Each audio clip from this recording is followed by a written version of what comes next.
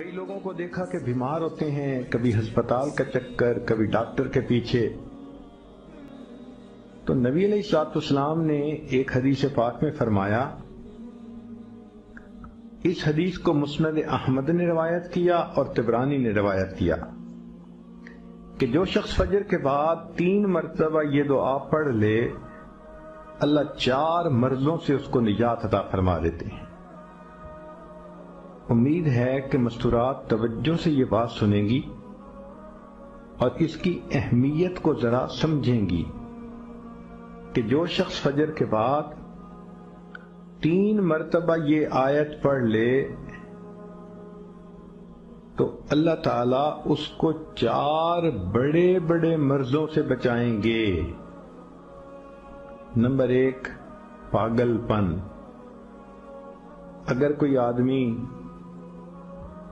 Mentally unbalanced हो retarded हो,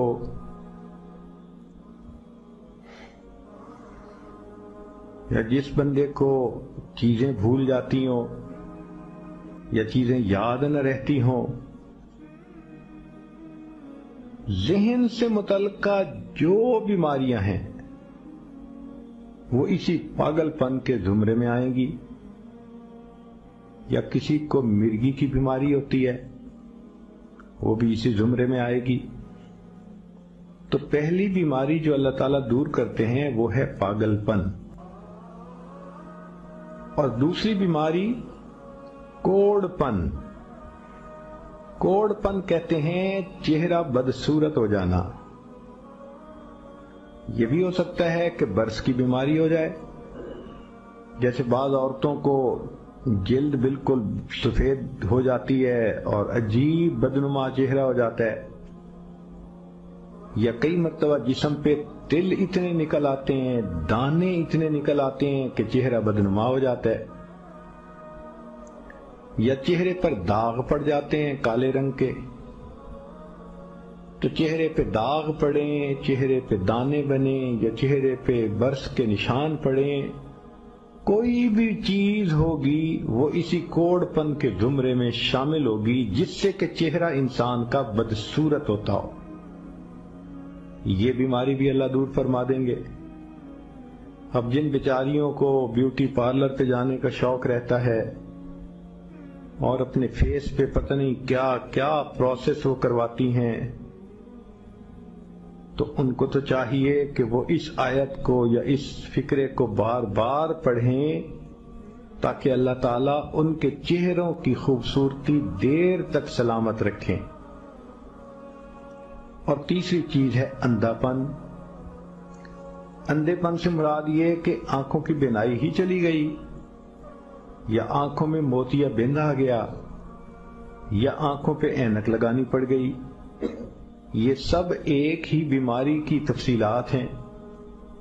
तो जिनकी नज़र कमज़ोर, वो भी पढ़ सकती हैं। या जिनको लेंस लगाने पड़ते हैं कंटेक्ट लेंस से ही या कोई और, उस मुसीबत से भी जान छूट गई। और जिनकी बिनाई चली गई, अल्लाह उनके लिए भी आसानियाँ फरमा देते हैं। तो पागलपन की बीमारी खत्म, कोड़पन की बीमारी खत्म अंधेपन की बीमारी खत्म और चौथा फरमाया, फालिज की बीमारी खत्म। फालिज एक तो होता है कि इंसान का हाथ या पाँव काम ही ना करें। और एक ये भी होता है कि इतनी वीकनेस कि औरत कहती है, मुझसे तो खड़ा ही नहीं हुआ जाता। मेरे पाँव सुन हो जाते हैं, मेरे हाथ सुन हो जाते हैं। ये सारी चीज़ें कमज़ोरी और फालिज की इब्तदाई स्टेजेस हैं। तो ये सब चीज़ें ठीक हो जाती हैं।